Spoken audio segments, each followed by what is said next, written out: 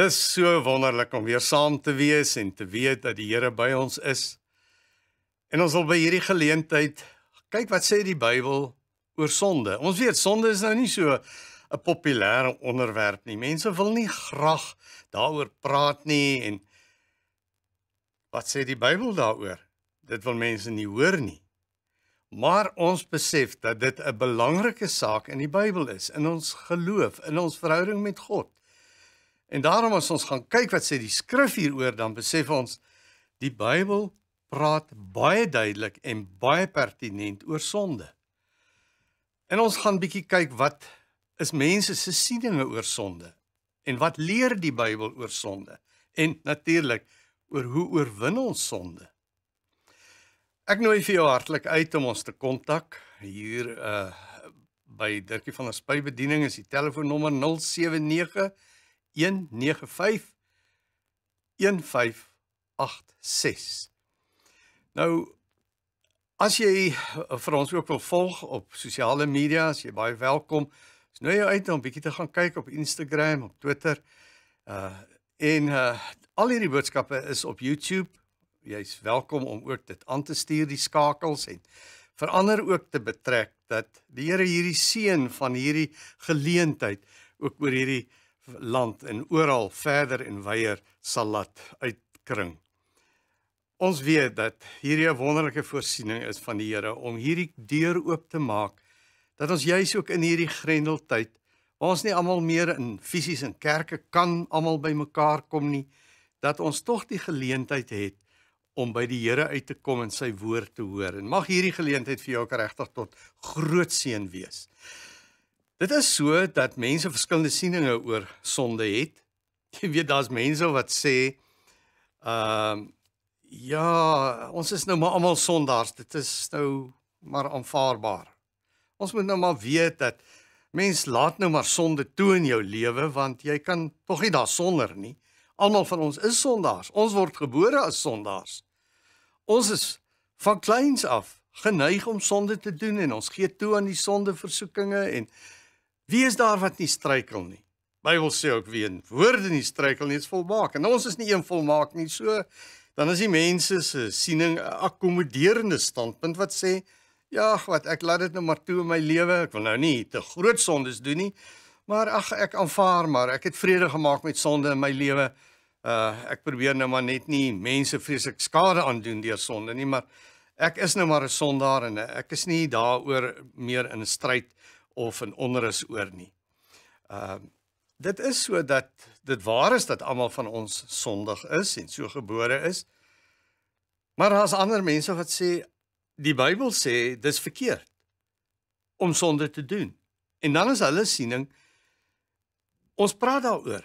Ons praat daarteen. Ons praat dit nie goed nie. Maar ons laat dit toe in ons lewe. Dis hoe die Fariseërs was. Hulle het vroom gelewe.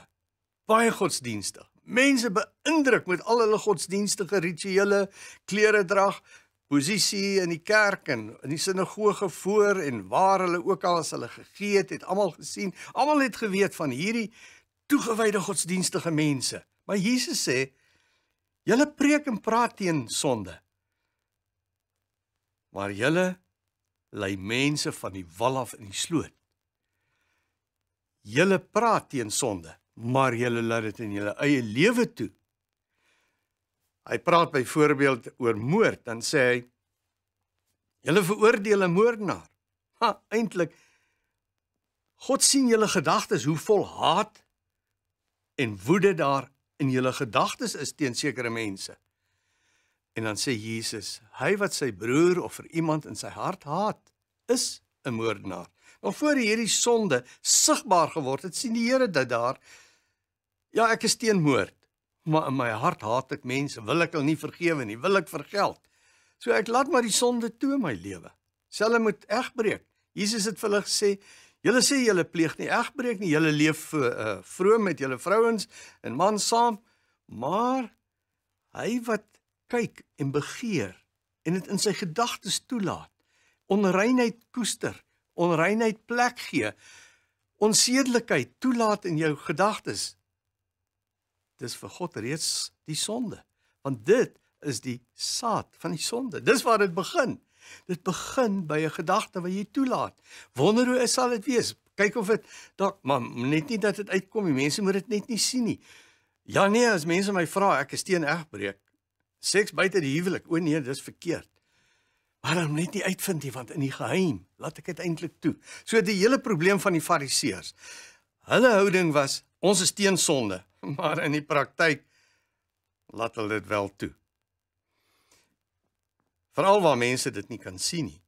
Veral as hulle op hulle eie is. Veral hier in hulle binneste en in hulle gedagtewêreld waar God kan sien.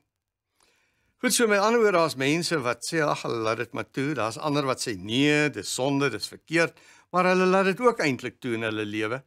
En dan is daar natuurlik die die groep wat ons van lees wat die Bybel ons toe aanspoor om te sê ek dul dit nie. Ek wil nie sonde in my lewe hê nie want God is daarteen. God laat nie sonde toe nie. God wil nie hê ons moet sonde doen nie. Hy is teen sonde en ek is ook teen sonde. So dis wat die Bybel ons leer. Hy leer vir ons byvoorbeeld dat ons soos Josef sal wees wat in ons hart, in ons gedagte met God dit uitgemaak het. Here, ek kan nie sonde toelaat nie want dit is teen U. Dis nie wat U wil hê nie. En daarom is ek by U en kom staan ek aan U kant en ek is teen sonde. En as die versoekinge kom, het ek klaar voor die tyd vir my dit uitgemaak. Josef sou nie in daai oomblikke wat daai mooi vrou van Potifar hierdie wonderlike 'n eh, geleentheid wat sy geskep het en hom alleen eers gekry het en ag niemand sal seker weet nie en daar wat sy toenadering tot hom gesoek het en dit hom skielik duidelik word dat hierdie vrou se motiewe is seksuele verkeer en sy gaan dit al verder en verder probeer vat en hy het net een ding in sy hart gehad en dit is ek duld nie sonde nie ek laat dit nie toe nie ek vlug van die sonde af weg. En daarom het hy losgeruk en weggehardloop mense sê joh maar hy's ou pabroek nee hy is sterker as Samson want Samson kon nie dit doen nie hy kon nie vir 'n vrou weghardloop nie So daarom is my vraag, wat is jou standpunt? Duld jy dit? Is jy skyn heilig oor sonde? Of sê jy, Here, ek wil dit nie hê nie. Ek vlug daarvan weg. As die versoeking kom, het ek klaar besluit, ek gaan dit nie toelaat nie. Ek het klaar in my hart, u ken my hart, u ken my gedagtes. Ek het klaar met u die saak uitgemaak wat verkeerd is, wil ek nie in my lewe hê nie. Kom ons kyk bietjie wat sê die Bybel daaroor. Want die Bybel praat duidelik daaroor dat ons soos God moet wees. En hoe is God? God is heilig. Wat beteken dit? Kom ons kyk bietjie wat sê 1 Petrus 1. Ons lees hier van vers 13 af. Wees daarom verstandelik wakker en nugter. En vestig julle hoop volkome op die genade wat julle deel sal word by die wederkoms van Jesus Christus. As gehoorsame kinders moet julle nie julle lewe inrig volgens die begeertes wat julle vroeër gehad het toe julle God nie geken het nie. Nee, soos hy wat julle geroep het heilig is, moet julle ook in julle hele lewenswandel heilig wees. Daar staan immers geskrywe: Wees heilig, want ek is heilig. Jy moet hierdie teksgedeelte weer lees en kyk hoe elke woordjie 'n belangrike boodskap oordra. Hy praat van volkomme gehoorsaam. Hy praat van gehoorsaam aan die Here soos 'n kind aan sy Vader gehoorsaam is. Nou ek weet ek wonder baie keer of dit nog 'n beeld is wat tot ons spreek dat 'n kind is vir ons absolute voorbeeld van hoe gehoorsaamheid lyk. Want as pa iets sê, dan doen hulle dit onmiddellik. As ma iets sê, dadelik. Of is dit dalk anders? Dat daar nie meer gehoorsaamheid is nie. Die Bybel wil egter vir ons sê soos dit behoort te wees. Julle moet soos kindertjies gehoorsaam wees aan julle vader. julle hemelse Vader. As julle sy kinders is, moet julle doen wat hy wil hê. Dan moet julle nie iets doen wat nie deel is van sy karakter en sy persoon en sy wese nie. Hoe is hy? Hy's heilig. Met ander woorde, God het nie sonde nie. God is sondeloos. Daar's nie plek vir sonde by hom nie. Hy haat sonde. Hy wou dit nooit gehad het nie. Hy wou dit ook nie in die paradys gehad het nie. Hy wou nie gehad het Adam en Eva se liefde moet wegdraai van hom en dat hulle die slang, die duiwel sou gehoorsaam nie. Dis die geheim is dat ons moet weet, ons moet soos ons hemelse Vader word. Ons moet al meer verander na die beeld van ons hemelse Vader. En hoe is hy? Hy's sondeloos. Hy's heilig. Daar's nie plek vir onreinheid en vir sonde in sy lewe nie. In sy wese is heilig. Sy hele bestaan is heiligheid.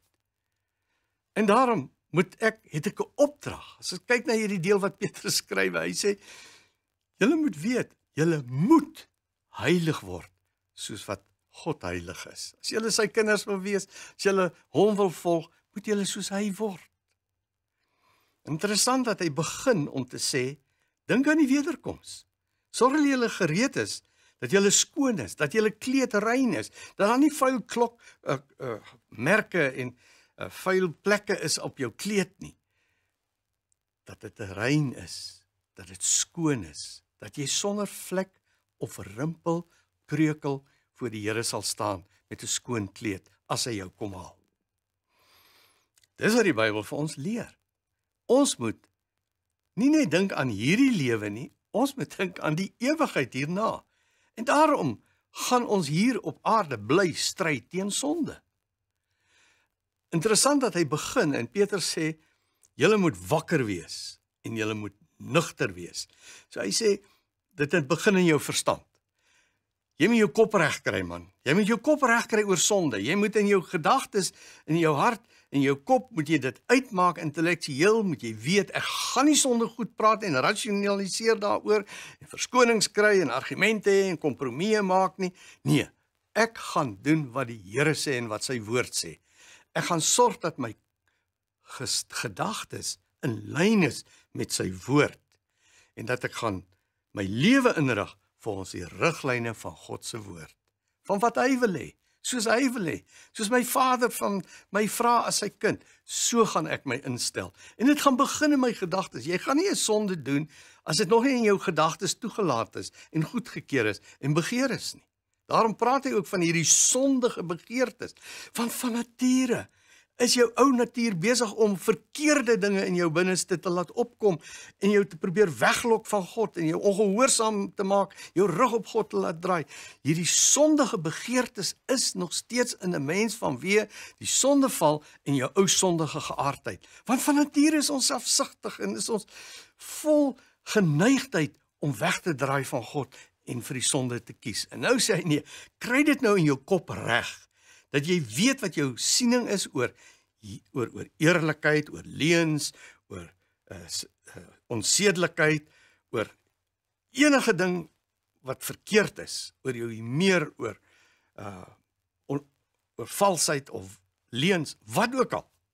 Maak seker dat jy dit in jou kop reg het, dat jy in lyn is met God se woord en met sy wil, sodat jy kan heilig wees soos wat hy heilig is.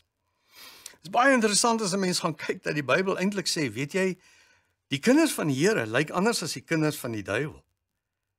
Jy kan gaan kyk of hulle sonde toelaat of nie. Kom ek lees vir jou 'n bietjie wat staan daar uh in 1 Johannes 3 hier van vers 4 af. Elkeen wat sonde doen, oortree die wet van God. Sonde is immers oortreding van die wet van God.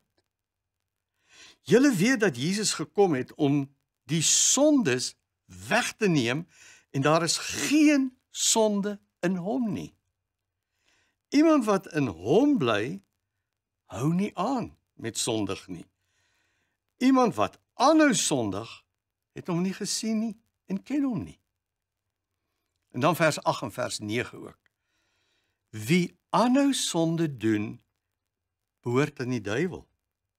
Want die duiwel hou van die begin af aan met sondig. En die seun van God het juis gekom om die werk van die duiwel tot nul te maak.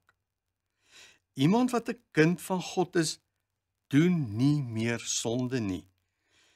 Omdat die gees van God in hom bly en hy kan nie meer sonde nie, sondig nie, omdat hy uit God gebore is. Nou jy kan sien hier is nie 'n gapentjie vir sonde nie dat die Bybel nou maar sê ag wat ons is nou mos maar almal sondaars. Ons verstaan tog maar sondig mos almal so dit is ook maar reg. Nee. Die Bybel sê as jy kind van die Here is, dan is jy klaar met sonde. Jy doen nie meer sonde nie. dan het jy opgehou om sonde te doen. Dis hoe jy onderskei word van die wêreld, want die wêreld laat sonde toe. Die wêreld doen verkeerde dinge. Maar die gelowiges staan onder die wet van God. Wat sê God is reg? Wat is God se wet? Wat sê hy in sy woord? Wat wil hy hê? Wat wil hy nie hê nie? Ja, hy's heilig. Sonder sonde staan hier. En hy wil hê ons moet soos hy wees en nie sonde doen nie.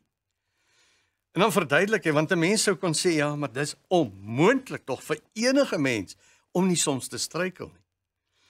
Maar die die punt is in beginsel, hoe's jou hart ingestel? Hoe's jou strewe? Wat is jou siening? Wat is jou houding? Wat is jou beleid oor sonde? Here sê jou beleid moet wees. Jy's 'n kind van die Vader en jy luister wat hy sê, jy doen wat hy vra, jy gehoorsaam sy wet en jy doen nie sonde nie. Daarom is dit die kenmerk van 'n Christen.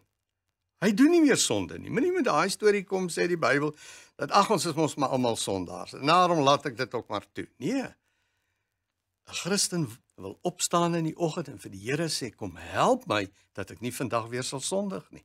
Ek wil 'n sondelose dag hê. En natuurlik gaan daar soos hier staan 'n stryd wees met jou ou natuur wat jou wil wegtrek. Maar ek gaan bly by my beleid en ek gaan bly om te stry teen my ou natuur en my eie selfsugtige dinge en ek gaan bly gehoorsaam wees aan my Vader en wat sy woord sê en wat sy wet sê en ek gaan doen wat hy van my vra. So dit is die geheim dat as ek onder beheer van die Heilige Gees lewe want ek is nou wedergebore die gees van God het in my hart kom woon hy het my 'n kind van God gemaak So nou is die Heilige Gees in my en hy help my om nie te sondig nie. En solank as die Gees in beheer is, gaan ek nie sonde doen nie. Maar natuurlik is jou ou natuur nog daar en as jy hom toelaat, gaan daar weer sonde kom. Maar nou is die aansporing van die Bybel om vir ons te sê, nou moet jy onder beheer van die Heilige Gees lewe dat jy nie meer sal plek gee vir jou ou natuur en jou sondige begeertes nie sodat jy sondeloos sal lewe. Dis hoe julle harte moet wees. En daarom het Jesus baie ferm hieroor gepraat. Hy sê julle moenie saggies werk met sonde nie. As jou hand jou laat struikel, kap hom af. As jou oog jou laat struikel, pluk hom uit. Moenie toelaat dat daar sonde in jou lewe kom nie. Ons het 'n opdrag om heilig te wees. Ons moet weet, ons moet aanhou kies. Ons moet aanhou kies teen sonde en die Gees toelaat om vir ons oorwinning oor sonde te gee.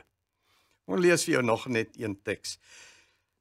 'n Teks wat vir ons verduidelik hoe ernstig ons moet stry teen sonde. En hy gebruik die beeld van 'n wedloop waar 'n mens jy raak moeg en jy wil uitsak en jy begin stadiger hardloop en jy begin naderhand uitsak en hy sê hierdie stryd ken ons as gelowiges. Maar ons moet aanhou stry en ons moet volhard in ons stryd teen die sonde. Kom ek lees wat staan in Hebreërs 12 Ek lees eers net vers 1.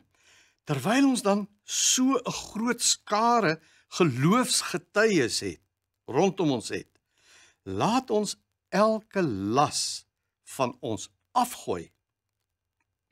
Ook die sonde wat ons so maklik verstrik.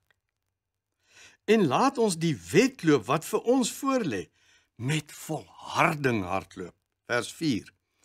Julle het nog nie so teen die sonde weerstand gebied dat dit vir julle 'n stryd om lewe en dood geword het nie. Julle gee nie julle alles nie. Julle hardloop nie voluit op hierdie wedloopbaan nie. Julle het nog nie ten bloede sê die ou vertaling gestry en geveg teen die sonde nie. Julle gee te maklik toe. Julle volhard nie in julle stryd nie. Julle laat dit maar nader aan weer toe. En dan is julle weer oop vir sonde. Nee, hy sê julle moet weet dat julle dit moet vir julle 'n stryd om lewe en dood wees. Dit moet vir julle 'n stryd wees om te sê ek hardloop met my oog gefestig op die wenpaal en ek gaan nie omdraai nie en ek gaan nie uitsak nie en ek gaan nie weer sit op die kant lê nie en ek gaan nie toelaat om bagasie weer op te laai nie en ek gaan nie toelaat dat die sonde my weer begin verstrik in my poetjie en my uit die wedloop uitkry vir 'n tyd of vir hoe lank ook al nie. Nee, ek het 'n wedloop en ek hardloop met alles wat ek het om die prys te verkry. Dis hartseer dat sonde, as ons dit toelaat. Dis hoekom die Bybel ons waarsku daarteen. Dis nie van die Here nie, dis van die duiwel. Die Here wil nie hê ons moet 'n deur oopmaak vir die vyand en van sy inkomste daar slegte gevolge. Hy bedoel nie goed vir jou nie. Hy sal jou mislei met hierdie pragtige lekker sjokolade, maar daar's gif binne-in. Daar kom skade, daar kom ellende, daar kom slegte gevolge. Dink maar aan Eva in die paradys en Adam vyand het gekom, die slang en die duiwel het gekom met allerlei stories oor ag is dit nou so verkeerd? Hoe mag julle dan nie van al die bome eet nie? Het God nou regtig gesê julle mag nie? En so het hy begin karring totdat hulle begin sagter raak het en toegewings gemaak het. En toe gesê het maar weet jy dit lyk so lekker. Dit lyk so wonderlik. Dit gaan fantasties wees. Ek moet hierdie vrug proe. Ja, en God, het hy nou regtig gesê? Weet jy eintlik is die waarheid. Nou kom die duiwel met sy leuen om jou te motiveer. Eintlik gaan dit wonderlik wees. Weet jy jy gaan soos God word. Dis die wonder daarvan. Jy gaan soos God word. En toe pluk Eva dit. En sy gee vir haar man en hy laat dit ook toe. En hulle het nie uit nie Die man het nie standpunt ingeneem en die duiwel weggejaag nie. Hy het maar saamgegaan met die sonde. En dan weet ons wat die hartseer is. Ons op die einde daar uitgedryf. Die gevolge van sonde, die swaar kry van die vrou en die kinders, kry en die toekoms dat die man wat in in, in 'n wêreld vol dorings en dussels hard moet werk in die sweet van sy aangesig. Nou is dit swaar. Daar het ellende gekom, daar het pyn en slegte dinge gekom en die aarde het verander en die mens het 'n stryd gehad en hulle is uit die paradys uitgeban. En daar staan engele met gloeiende swaarde om te keer dat hulle nie terugkom nie. Hulle het hierdie wonderlike lewe gemis. Dieselfde is waar met met Moses. Hy was een keer ongehoorsaam en het die rots geslaan uh vir water in plaas van wat die Here vir hom gesê het hy moet doen. En hy het nooit die beloofde land ingegaan nie. Ananias en Safira het een ou klein leentjie vertel, net om hulle beter te laat klink en goed te laat klink en op die ou end is hulle uitgewerp en dood neergeslaan. Die oordeel van die Here oor sonde bly ernstig. Daarom praat die Bybel van 'n hel En hy praat van die oordeel van God en hy praat van die regterstoel en hy praat van dat ons geoordeel sal word en dat die loon van die sonde die dood is. Wat wil die Here vir ons sê? Wil hy vir jou sê jy's sleg en jy's vol sonde en hy steen jou? Nee, hy sê ek het vir jou sonde gesterf. Ek roep jou na my toe. Kyk my deurboorde hande. Ek wil jou verlos van sonde. Ek wil jou vrymaak. Ek wil deur my gees in jou kom woon of jou oorwinning te gee oor sonde. Bekeer jou beteken keer weg van die sonde. Keer toe na God. Draai jou rug op die sonde. Bekeer jou en draai na God toe. Kom gee jou aan hom oor dat hy deur sy gees jou hart kan vul en vir jou oorwinningskrag kan gee oor jou ou natuur en jou sondige begeertes en dat die gees van God jou lewe kan beheer sodat jy God se wil sal doen en hom sal behaag en nie sal sondig nie. Kom ons bid saam. Here Jesus, dankie dat ek weet dat U aan die kruis van Golgotha vir my sonde kom sterf het. Omdat U my liefhet. Omdat U my wil verlos van sonde. Omdat U my wil vrymaak van die straf en die oordeel en al die ellendige gevolge van sonde. Daarom kom ek na U Here Jesus. U wil my vergewe. Ek vra kom in my lewe in hierdie oomblikke en maak my skoon. U sê as ons iets vra volgens u wil, doen u dit. Dit is u wil om my te vergewe. Dankie dat as ek dit nou bely, dan doen u dit en as ek dit hierna gaan neerskryf en daai papier verbrand, Here, dat ek weet soos ek daai as sien, so is dit verby. U dink nie weer daaraan nie. Kom maak my skoon. Kom maak my nuut. My hart is oop vir u. En kom woon in my Heilige Gees. Kom help my om nie weer te sondig nie, maar u wil te doen en u te gehoorsaam en u te volg. Amen. Weet jy die Here se woord is die waarheid. Hy het regtig jou sonde kom wegneem as jy hom gevra het. Hy sê as jy dit bely, hy sal vergewe. As jy dit bely het, hy het dit vergewe. Glo nou dat hy jou sonde weggeneem het en sy gees nou in jou kom woon het en hy gaan jou help om nou oorwinning te kry oor sonde. Here bly met jou en hy help vir jou om dag vir dag sonder sonde te lewe.